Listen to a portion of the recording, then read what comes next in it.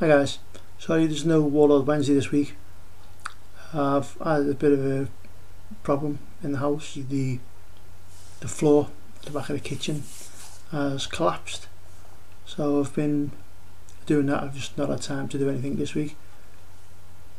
But I'll go use my phone now and I'll show you some pictures of the floor. Say again guys, hopefully back to normal next week. Now guys, so you can see there where the rot is, but it's coming back. The N2 uh, joist there completely gone. This one seems okay, but I don't know where it's coming in. So I'm going to have to remove the floor right the way across, take all the units out. And uh, got a busy couple of weeks ahead of me.